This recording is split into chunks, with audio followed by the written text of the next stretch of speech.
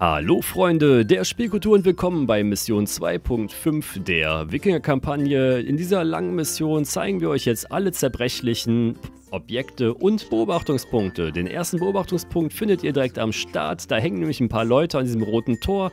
Auch wenn es einladen ist, da durchzugehen, geht den linken Weg lang, denn da findet ihr dieses kleine Wrack mit ein paar Leichen. Das sind Speertruppen der Wikinger, die müsst ihr auf jeden Fall finden, denn das ist ein Beobachtungspunkt. Als nächstes haltet ihr euch weiter links und findet auch die ersten zerbrechlichen Sachen, also immer wirklich am Wald lang laufen, um jetzt keine Sachen zu übersehen. Nachdem ihr die ersten Truppen besiegt habt, kommt eine kleine Sequenz und ihr richtet dann euren Blick genau auf diesen Turm, wo ihr hier hinlauft, denn das ist ein weiterer Beobachtungspunkt dieser Mission.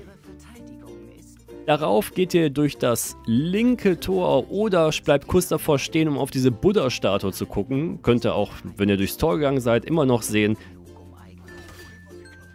Dann schön weitergehen, beziehungsweise auf die Mauer zulaufen, die ihr auf der rechten Seite sehen könnt. Da, da sind diese zerbrechlichen Gegenstände. Dann lauft ihr gegenüber des Tors in dieser Mauer ganz zum Ende hin, wo diese Wurzel ist, plus diese zerbrechlichen Gegenstände direkt daneben.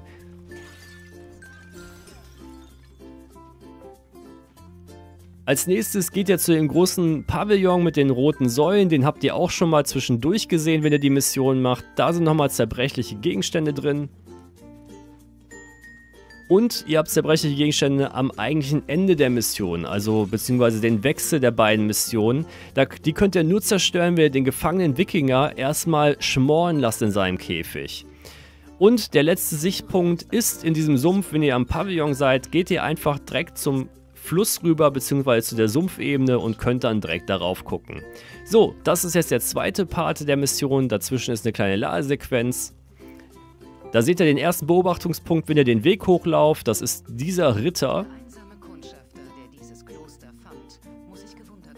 Dann geht ihr die zerstörte Mauer hoch und geht in den ersten Raum. Da seht ihr einige zerstörbare Vasen.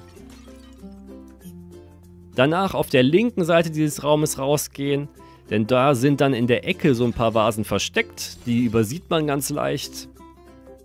Dann zurück in den Raum und jetzt rechts rausgehen zu diesem Blumenmosaik auf dem Boden. Da seht ihr wieder ein paar Vasen zum Kaputthauen.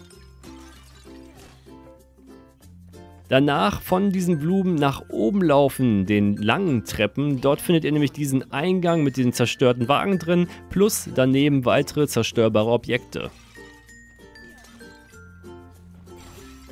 Danach gehen wir zurück zu dem Blumenemblem und gehen rechts lang. Dort sind einige Kerker, wo wir den ersten Kerker observieren können. Danach einfach weiter geradeaus und rechts raus und wieder links. Da ist die große Statue, die wir uns angucken können, die den Kaiser von, den, ja, von der besagten Partei zeigt und danach links die Treppen hoch, beziehungsweise gegenüberliegend des Blickes des Kaisers. Dort können wir den Wald reinschauen und haben einen weiteren Beobachtungspunkt.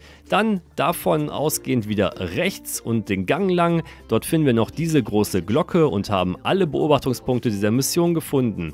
Wenn wir uns von der Glocke um 180 Grad drehen, geradeaus, ganz unten im Turm, sind die letzten zerstörbaren Objekte. Danach können wir uns dann verziehen und haben wirklich in dieser langen Mission und vor allem die Mission mit den meisten Beobachtungspunkten und Objekten alles gefunden für dieses wunderschöne Drachenboot-Emblem. Ich hoffe, wir konnten wieder helfen und bis zum nächsten Mal. Euer Gamesplanet.com Team.